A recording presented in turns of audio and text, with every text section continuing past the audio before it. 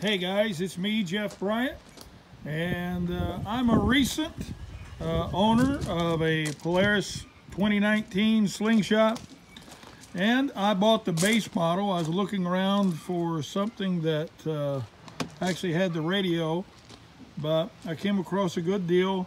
Uh, very, very low miles on the 2019, and uh, still have warranty and all that. So I bought this. But one of the things I realized real quickly was uh, I was missing a radio because I had a Can-Am Spyder before that. And um, so I looked around on the internet for, uh, man, I guess I've been looking for probably a couple months.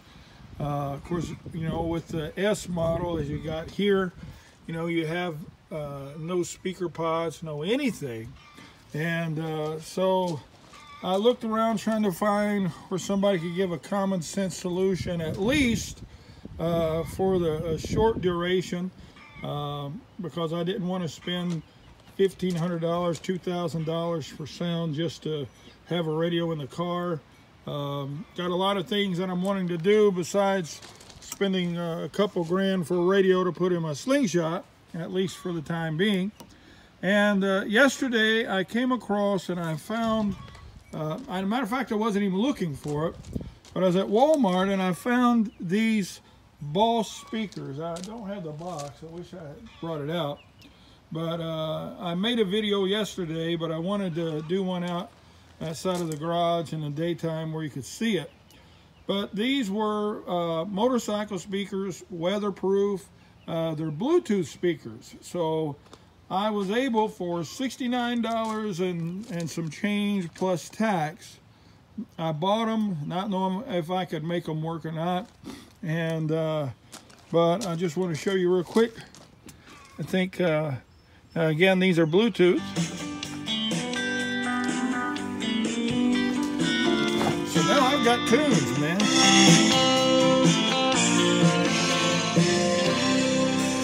When I look into I realized how quickly Now, what I did here, if you look at this, right here is uh, the volume control, and I've got that double side tape. I've stuck it there.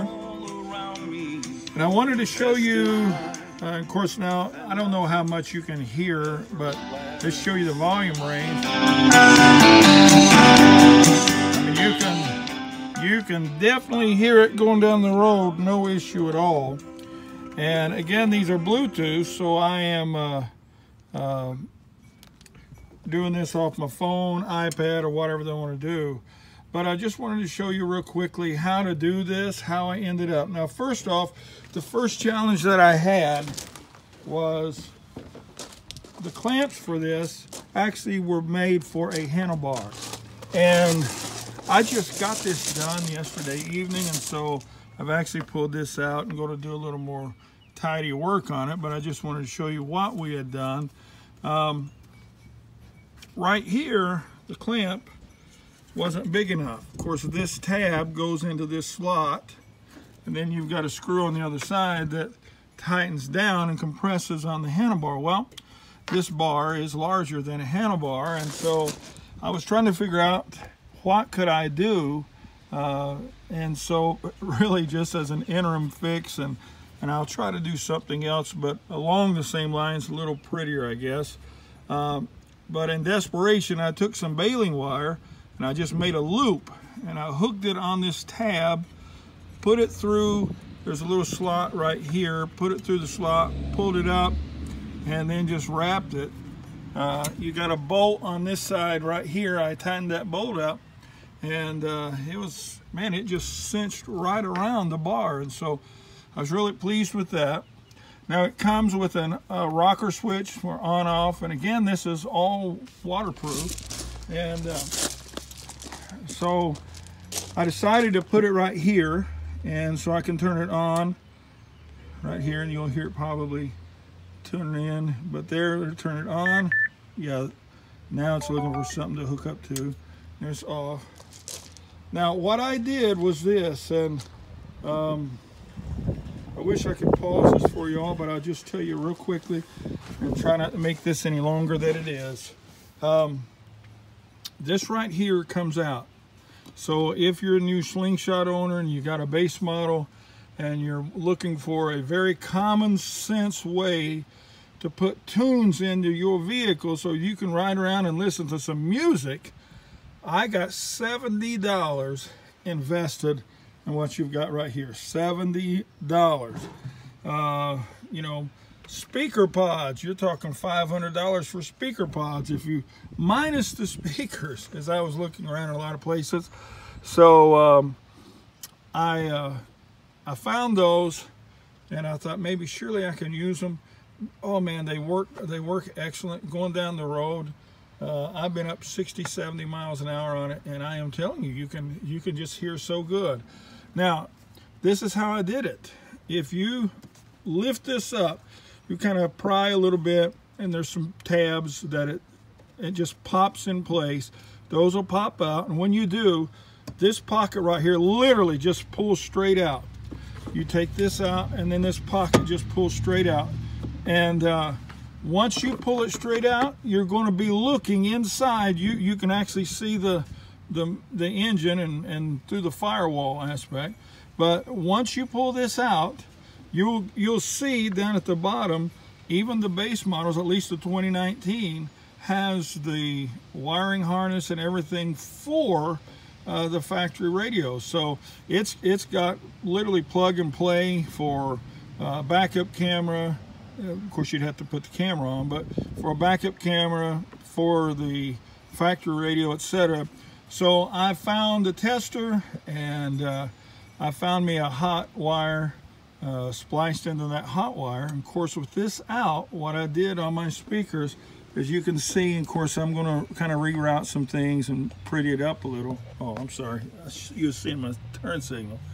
But all this right here is going out through underneath the hood. So if you will lift this hood up, you can route your wires right up. And uh, if I had a way to stop and pause this, I would, but I don't. But you could you lift your hood, come right out on your firewall. You can lay the wire right in behind the firewall. The, the wire is virtually invisible. Bring it right through here, your hot wire. I tie it into the hot wire here and uh, just simply ground to find a ground, hook up to your, your hot, which is on this switch, mounted those speakers and man, there it was. And uh, so it was, uh, the longest it took for me was figuring out what I could do to extend this and make this work or even uh, possibly change this. Now, one of the, I will say this, one of the big things that's an obstacle as far as I'm trying to show you this I'm getting kind of close. All this right here you cannot remove it. You can take it off but it slides down and, and you can't uh, slide it completely off because uh, at the end of the wire it's got clips and everything else that holds that on. So uh, honestly I think I could have if I could have backed that nut and removed the nut, okay, if I could remove that lock nut right there, I think the factory clamps would have worked without me having to use the baling wire. I really do, but um, yeah, I may get feeling squirrely and try to do something different. But for right now, um, you know, it's it's really amazing to me how for seventy dollars I put this in and I did it by myself. I'm, I'm no great uh, uh, modifier of vehicles or something like that, but if I can do it, just about anybody can do it. And of course, now, see, I've got mine set up hot all the time, but when you pull that out and you take your tester, you right next to the hot wire that's hot all the time, was basically an accessory wire that was only hot when you had this on or when you turned it to park. Um, I almost went that route, but I decided since it had a rocker switch and I could turn it on and off, that uh, I would just do it hot all the time because, um, you know, you may be outside and want to listen to the radio a little bit or whatever. But anyway, I hope that this is a little better, a little clearer picture. Now, let me show you again from outside what it looks like. And I was really pleased with what it actually looks like on the slingshot, um, it actually turned out really well. I mean, and again, seventy dollars.